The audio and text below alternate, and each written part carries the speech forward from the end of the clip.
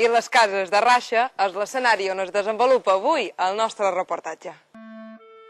Les cases de Raixa, aquesta emblemàtica finca mallorquina, han estat rehabilitades per a convertir-se en un centre de referència per a la conservació del medi natural.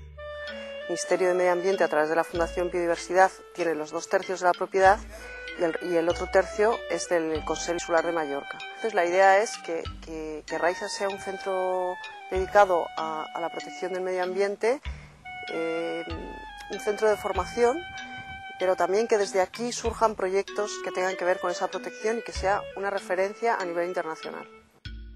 La Fundació Biodiversitat fa feina per a la conservació de la biodiversitat, donant valor al desenvolupament sostenible. Porque hacemos trabajos que tienen que ver con la propia conservación, también con la cooperación internacional, educación y sensibilización. Y bueno, eso es lo que queremos hacer con, con, con Raisa y por eso estamos aquí. Per tot el que aquí es vol dur a terme, primer de tot l'edifici de Raixa s'havia de rehabilitar íntegrament, després d'un grapat d'anys sense manteniment continuat. Eh, és una finca agrícola que li hem de donar uns altres usos, uns usos públics, uns usos d'investigadors, però el que volíem és que la gent reconegués Raixa, o sigui, que no quedassin els muros com si fos un rest arqueològic sobre, damunt del qual han fet un projecte. Una feina que també ha permès conèixer millor la història d'aquell lloc. D'altra banda, també testimoni de la història de Mallorca. En el començament varen tenir una espècie de treball d'investigació entre els historiadors, els arqueòlegs i els arquitectes. Per exemple, eh, nosaltres vam trobar una paret cremada un costat, ens pensaven que era una ximenea, però quan aquesta paret està cremada a l'altra banda, van dir que hi ha hagut un incendi. I van parlar amb els historiadors, van dir que efectivament, les germanies, eh, l'any 1700 i pocs, varen assediar Raixa i li van incendiar. No? Llavors varen començar a trobar sentit moltes coses que trobaven. Amb l'estudi de cases antigues com aquesta, es comprèn que l'actual concepte de la construcció és ben diferent al d'abans. Aquesta casa segurament va començar per una caseta petita i se va, se van ampliant. O sigui, totes les cases mallorquines, el concepte que tenim actualment de que aquesta casa se fa ex novo, antigament no se feia. Se feia una cosa petita i s'anava ampliant. La rehabilitació de Raixa ha desenterrat restes d'èpoques passades gràcies al model de construcció que s'ha seguit durant segles. És molt interessant trobar tots aquests restos perquè ara eh, nosaltres tenim molt clar que se derriba un edifici i fa un altre. Antigament no podien derribar edificis perquè no, no, no se podien dur els en carros, con la qual te trobes sempre els restos de les antigues cases les trobes eh, a les cases actualment. No?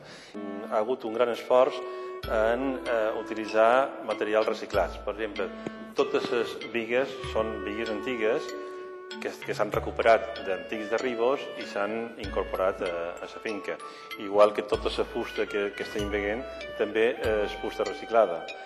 Els materials també hem utilitzat, per una part, materials el més natural possible, de, històricament, morta de calç, bàsicament, però també totes les ratjoles són fets per, per eh, artesans mallorquins, la pedra que hem utilitzat sempre és de Mallorca, hem utilitzat pedra de Santanyí, pedra de Benissalem, i pràcticament quasi tots els materials són insulars, perquè antigament quasi tot se feia amb material de...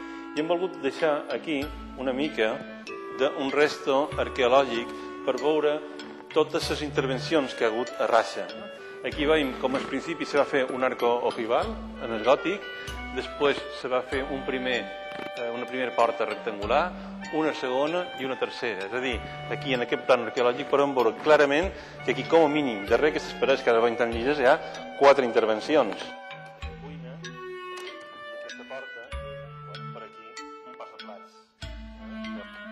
I totes les portes i tancaments de fusta són els originals que s'han restaurat. Això permet ara recordar solucions tan enginyoses com aquestes portes tortes. Han conservat tot, tota la carpinteria original. Han conservat totes aquestes portes mallorquines tan conegudes que eh, pareixen que estan mal col·locades, però l'efecte és que se tanquen totes soles.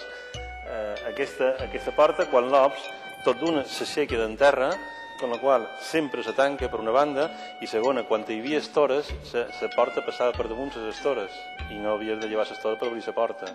Aquest té doble sentit. Quan un les veu inclinades pensa que estan mal fetes i no, no, estan molt ben fetes perquè un les amolla i sempre se tanquen per evitar corrent d'aire. Quan la totalitat de la finca estigui rehabilitada, podrà ser visitada també pels ciutadans. Així, per fi, es podrà veure com funcionava una finca com aquesta. amb les estances de la casa, els seus jardins, escalinates i elements etnològics com ara el moli fariner i la tafona, rehabilitats pels mestres del Consell de Mallorca.